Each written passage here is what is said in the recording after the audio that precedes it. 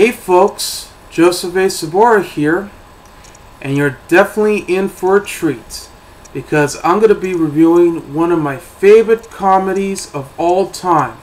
Now, I love so many films in my film collection, such as Back to the Future, Ghostbusters, The Sandlot, the Mighty Ducks movies, and so on, as well as Enchanted, Coraline, and all the rest, and all these other movies that came out. And I'm always a big fan of Bill Murray, along with John Candy, Dan Aykroyd, John Belushi, and so on. I mean, there's so many comedians that I really enjoy. But anyway, I'm here to review one of my favorite movies of all time that I've seen since I was a kid. I was 10 years old when I finally saw it. I almost turned 11 later on. Although I actually saw the film on VHS originally on VHS because I never saw it in theaters, sadly. Uh, go figure. But on the other hand, I was so happy that I got to see it for the first time, and that alone made me want to buy the VHS tape ever since I was a kid. And then I finally got the DVD later on in a replacement for the VHS tape. And now, as of this week, it finally came out on Blu-ray for the first time. So, here it goes. My favorite film of all time is Heavyweights. Yay! That's right. Heavyweights. Heavyweights. Oh man. Okay. yeah, I mean this is just something that I never thought I would have in my in the palms of my hands. Or what or at this rate holding between my fingers. yes, because this is the DVD, of course, of the film, and this is what it looked like. Even at the back, with all the pictures, looks exactly like the VHS tape was when it was released. And has the no holds barred fun quote on there. And it says, They came, they saw, they conquered, and consumed. Yeah, and look at all these pictures here, and all the rest. Well, the Blu-ray that just came out has this, where they added Ben Stiller uh, dressing for hiking. And yes, it has the usual uh, from the from the poster. But you probably know that the original poster of this film, they were wearing regular clothes. They weren't wearing their their Camp Hope uniforms, which I know you didn't see in the film. Did not look like this, but it's just added as as it is. And it does still has that famous quote, which is different from here. It does not mention from the creators of the Mighty Ducks whatsoever. But it's you know, very traditional. And here's their cover right there at the back. Um, basically typical Disney, always putting their Blu-ray um, logo on there on the on the top. I mean, this is what this is what it looks like in recent DVD releases. With all the extras, you wouldn't believe it, all the extras right there, even the trailer included that somehow the DVD did not have whatsoever because it's in full screen. It has the languages and sound quality, the, the Dolby Digital surround sound, but it did not have all the extras. So that's a shame. But it's still worth owning for what it's worth. But this one, look at this. So much extras on one film. You wouldn't believe that they took so much time to release this. But thank God. And look at all these pictures that they did include on the DVD, with the exception of one picture. You know, the Blob and Ben Stiller as Tony Perkis. Yes. See? Typical of Disney, but thank goodness they've released this. See? Now they care. They should have cared about this a long time ago. And they should have had, too because it's still the best film ever made. It may not be the biggest hit of all time when it first came out, because it bombed at the box office. but it had my chance of glory to see this film for the first time because I remember seeing the theatrical trailer of this movie when I went to see The Santa Claus in 1994. I wanted to see this film, not because it has one of my favorite stars of the Mighty Ducks movies, but it's also the fact that it had Ben Stiller in it and has all the other actors as well. And plus, it's set in summer camp.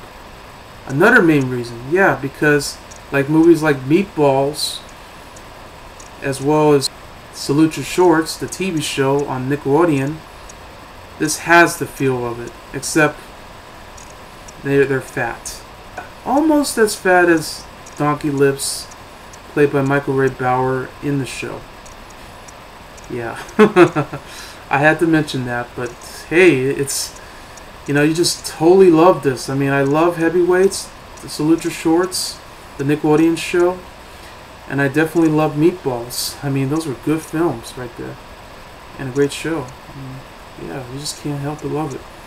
Well, anyway, I'm going to get to the review right now.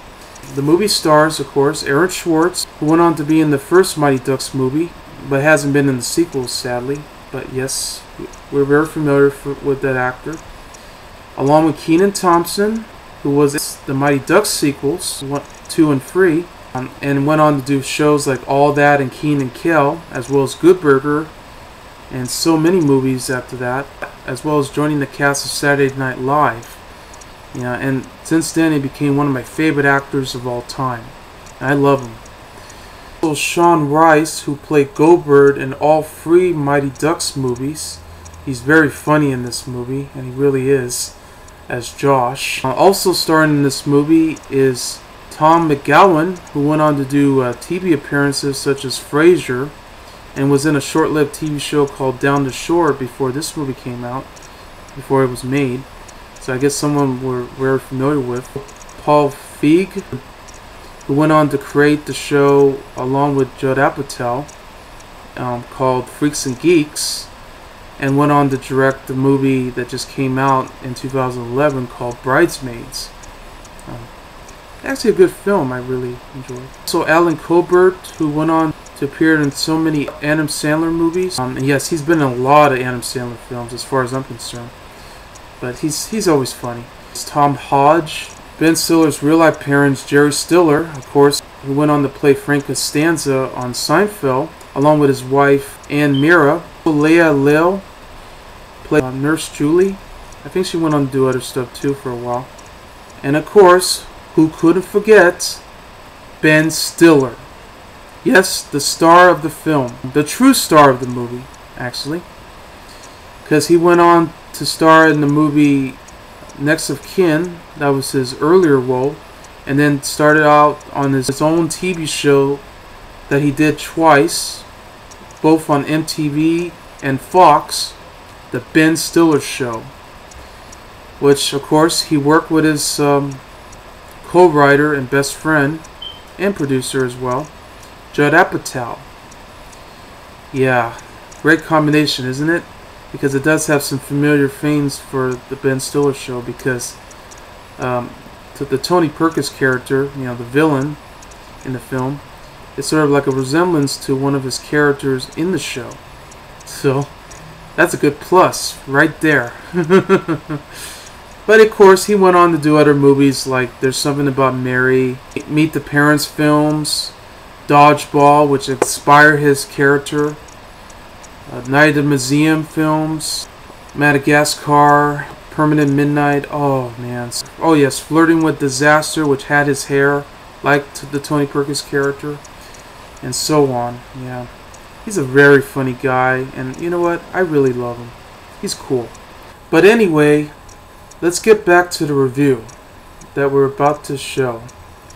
As the film opens, an 11 year old kid named Gerald Garner, played by Aaron Schwartz, had just recently got out of high school during the summer on vacation until he missed the school bus, had a hard time throwing the baseball on the baseball field, almost got attacked by a vicious dog, and drinks the entire pitcher of ice cold lemonade that he paid for until he finally went home and actually met a visitor Roger Johnson that he just came by to to let them know that there's a summer camp that he's being joined to known as Camp Hope. So in order for that, they watch a professional video and he saw pretty much everything that they have in camps such as go-karts, the blob, and so on until he realized that the camp itself turned out to be a fat camp. He got so upset because of it because he he has the feeling that he's going to be um, he's going to be you know teased and humiliated like like how he was during his time. So prior to that, he did not want to go until the very next day when he went on an airplane all the way from Long Island, that's where he lives, to North Carolina, which where Camp Hope was located. So he met Roy, played by Kenan Thompson, who's decided that he's also going to Fat Camp as well. So they went outside just to wait for Pat Finley, played by Tom McGowan, who's driving on the bus, to pick them up all the way from there to Camp Hope. As they entered, they they packed all their things up, including all their candies and everything. They met some of the counselors, including the new um, nurse by the name of Nurse Julie, played by, by Leah Lail, along with Tim, played by Paul Feig. And of course, they were getting ready to go meet the Bushkins, who was the owners of the camp and started the company since 1962. And they're both played by Jerry Stiller and Anne Meara.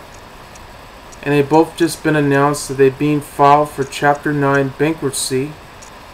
So in order to that, they were no longer the owners of the camp until they finally found out that it's being taken over by a new fitness guru instructor by the name of Tony Perkis, who turns out to be the most uh, biggest sellout of all, of all fitness instructions and and professional infomercials that he's been doing, and he's played by Ben Stiller.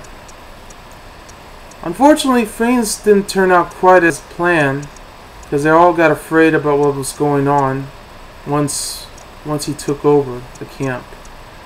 Things just went straight to hell after that once they once they were competing such as the baseball scene, the very hilarious baseball scene. They were being set up for weights in order for them to be part of the professional video until they start losing weight in order to become skinny and also the fact that they won't be able to have as much fun as they used to when they were at Camp Hope, such as going on the blob, doing the go-karts, and so on, everything. And also, you know, have food and have a party and everything. Yeah. But things didn't seem like it go as planned.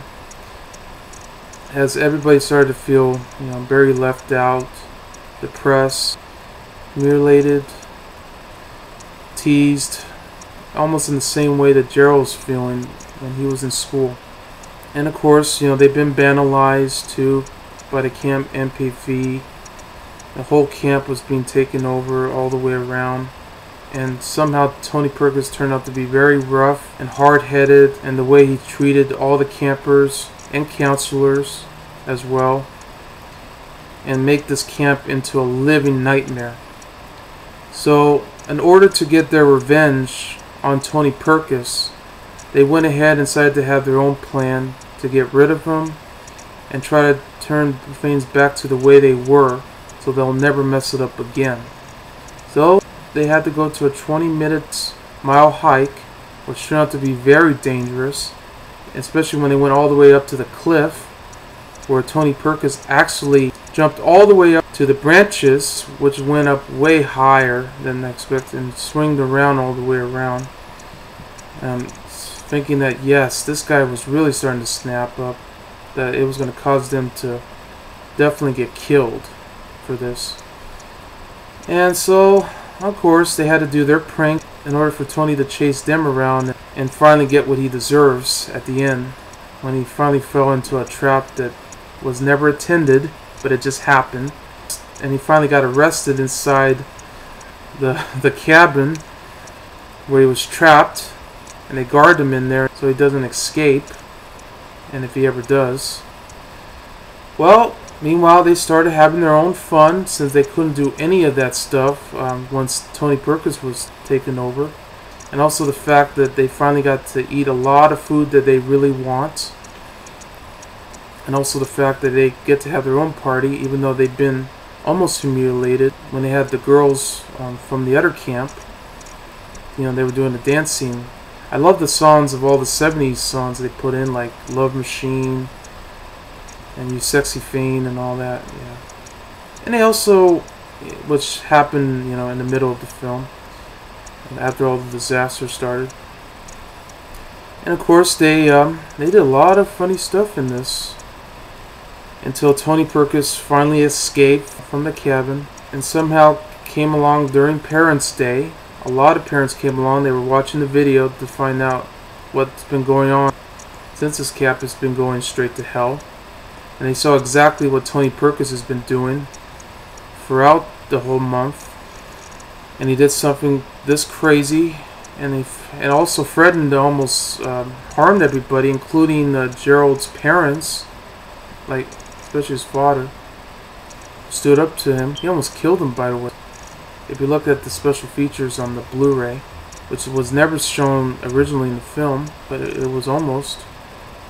He was threatening him with a bow and arrow, because now we know how insane he was. They finally called Tony Perkis Sr., the son of Tony Perkis, also played by Ben Stiller. He's playing a double role, and, and a very funny one too, sort of like Alan Arkin in that role.